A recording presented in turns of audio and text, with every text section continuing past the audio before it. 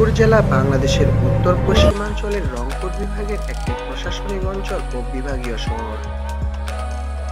এর আয়তন দুই হাজার কিলোমিটার।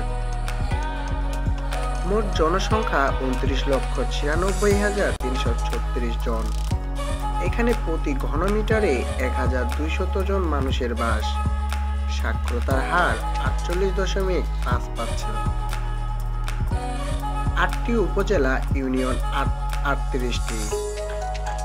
এক হাজার চারশত পাঁচপান্নটি মৌজা এবং একটি সিটি কর্পোরেশন ও তিনটি পৌরসভা নিয়ে রংপুর জেলা গঠিত। রংপুর জেলার উত্তরে লালমনিরহাট ও তিস্তা নদী, দক্ষিণে গাইবান্ধা ও দিনাজপুর জেলা, পূর্বে গাইবান্ধা, কুড়িগ্রাম ও লালমনিরহাট জেলা।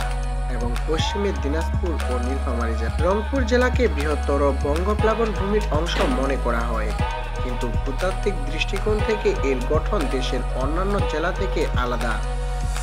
এ জেলার ভূগঠন অতীতে উত্তরাঞ্চলে প্রবাহমান কয়েকটি নদীর গতিপথ পরিবর্তন এবং ভূকম্পনজনিত ভূমি উত্তোলনের সাথে জড়িত।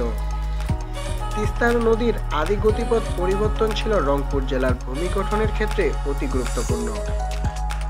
তিস্তা নদী সতেরোশো সাতাশি সালের পূর্বে গঙ্গা নদীর একটি উপনদী ছিল। পুর জেলায় আটটি উপজেলা রয়েছে। এগুলো হলো কাউনিয়া, গঙ্গাচড়া, তারাগঞ্জ, পীরগঞ্জ, পীরগাছা, বদরগঞ্জ, মিঠাপুকুর এবং রংপুর সদর।